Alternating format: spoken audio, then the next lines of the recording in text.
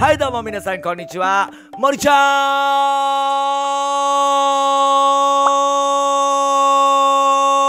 んです。というわけでやってまいりました。フラチナリズムの森直文と申します。よろしくお願いします。というわけで先日僕の友人でもありアーティスト仲間でもありそして友人でもあるそんな田中家チャンネルの田中幸喜くんが私が、えー、考えさせていただいた企画ザ・ファーストコンタクトという企画にチャレンジしてくれました。ありがとうございます。というわけで今日はその田中幸喜くんのザ・ファーストコンタクトねこの動画を見ながら私突っ込んでいきたいなというふうに思いますので皆さんお付き合いどうぞ。よろしくちゃんよろしくちゃんね。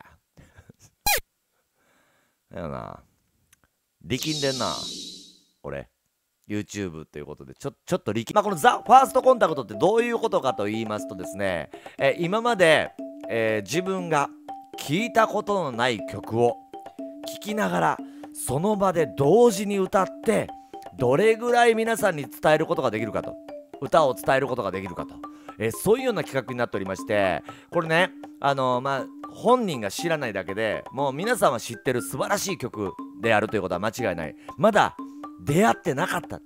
そんな曲を初見で初耳。で初耳初耳。初耳で歌って歌えるかどうかっていうような企画でございまして。まあその企画に田中くんチャレンジしてくれたんでそれでは早速田中家チャンネル見ていきたいと思います。ザ・ファーストコンタクト。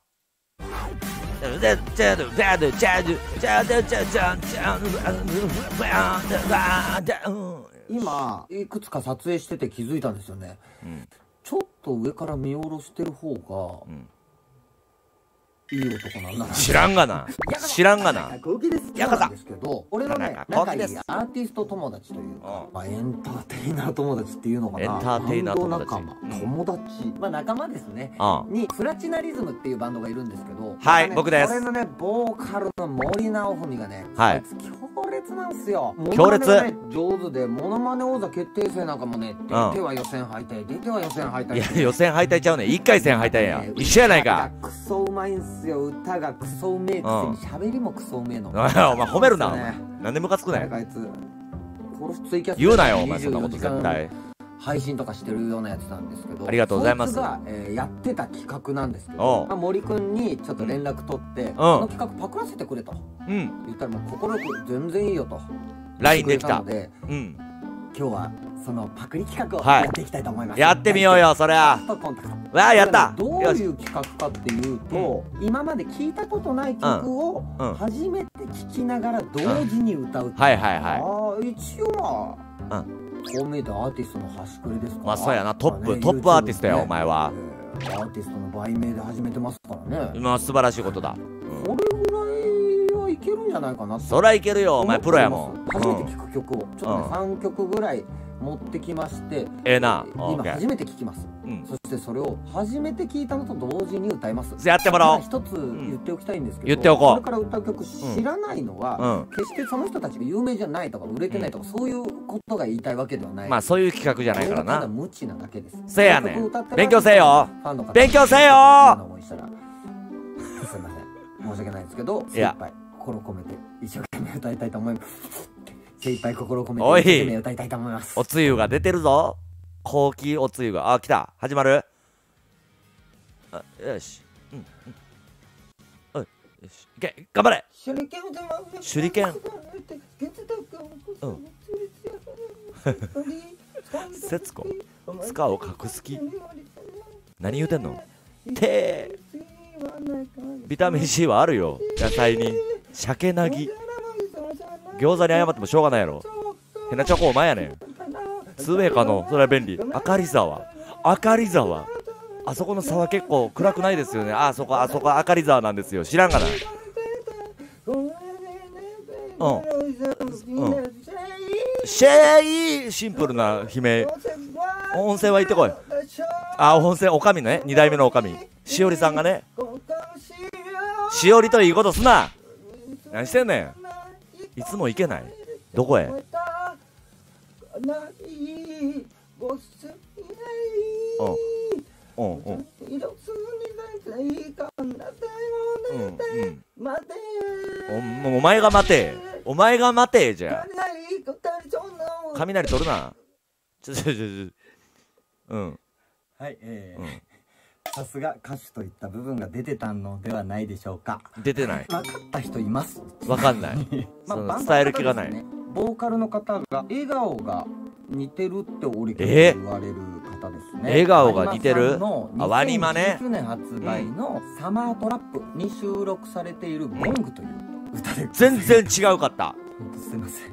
ワニマさん自身も一回謝って。ワニマさんファンの方たちも本当申し訳ないです、有名な曲は知ってるんですけどこの曲知らなくていやまあまあまあまあ。コンタクト力のなさからえーあのような悲劇を生んでしまいました。いやもうちょっとねアップテンポ面白かったよ。な。のでワニマさんよりはちょっとテンポ落として2曲目いってみたいそうやねと思いますあのアップテンポむずいねんな、うん、はずはずだったんですけどすいません。なんや。編集してて、ん。大人の事情に気づいちゃったんで何大人の事情？があり曲を変えるのでごめんなさい。ちょっと2曲目だけ取り直します。気になる大人の事情が何か同じぐらいだと思いますテンポ同じので行くんかい同じので行くんかいおいけよし。服変わった？そんなことより。服とヘアスタイル変わってない？別日？別日でやってる？たら。そっと水たまりがさりた。んどういうこと？チャリテラチャリで寺行って？うん。カムトゥ種目沖縄流行ってた？流行ってないわ。今後リーディング下げる。何言うてんねんずっと国上げて何すんの？国上げてバス4歳までにしましょうはおかしいやろ。なあ4歳以上も乗れるようにせよ。それ赤ちゃんや。赤子すぎるのは赤ちゃんや。あこれ知ってる？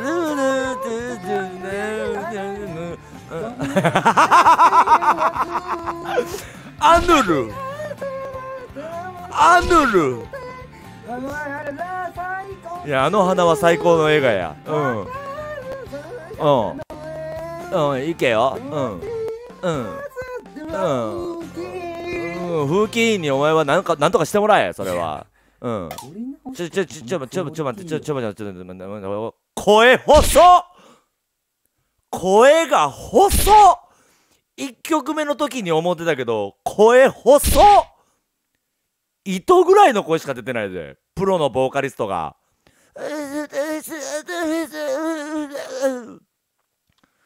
声細っ。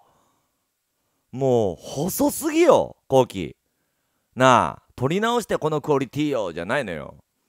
なあななんやジェラピケのモコモコ感やんその服。すなよ。よしじゃあちょっと次行ってみよういかなやもうね本当に申し訳ないです。でもそれはもう謝ってください。本当に申し訳ないです。絶対に謝ってください。何の曲か分かった人います？あでも聞いたことあるあ分のかる人はねこのおお曲聞いてたてててててのやつやろ？あ夜しか春泥棒な。いやーあ知ってる知ってる。めちゃくちゃむずい。ワニマさんよりはゆっくりなんだけうどん。っていうほどゆっくりでもなかったわ。確かにね。だから最後はもうバラード。あ多分ねそんぐらいゆっくりな方がいけると思う、いつ髪切った？そんなことより。結果知ってるけど3曲目聴いてください。レッツゴーおい。触るな絶対そんなもん。ガガ？うん。何が懐か？ナルトはもう懐かしいのレベルなん？崩れてんねん歌が。おのに？おのに揺れる？孫を？どどういう話それ？小野が孫を連れてて一人で？一人で？中を呼ぶなって。アキラ呼ぶな。とうとうやなお前が。お前がとうとうやわ。ご飯にかけろそれは。妻に。ふりかけ妻に渡すな。顔が。顔を乗せて。行かせるなよお前妻を行かせるのはええわ。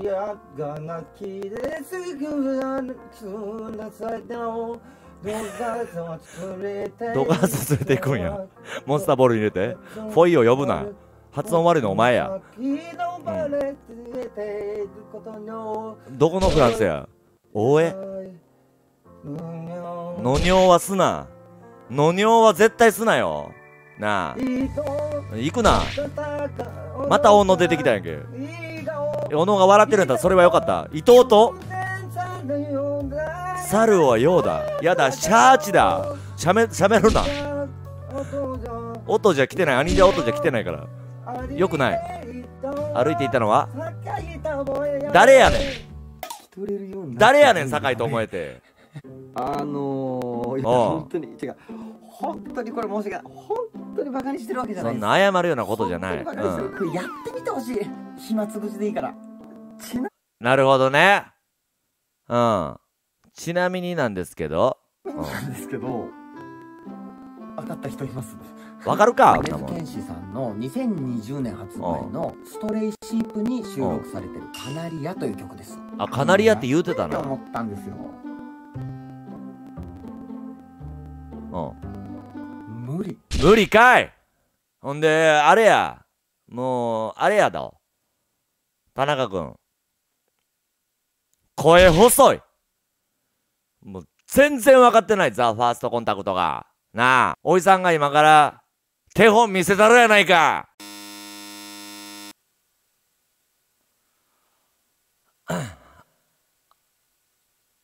よろしくお願いしますまああの今日この場に呼んでもらえて、まあ、すごく光栄なんで一生懸命心込めて歌いたいと思います。聴いてください。今静かな夜の中ですでに常にせれわの頭るせるか。今にのあこにだなの死ぬ間を間をすごいがさらした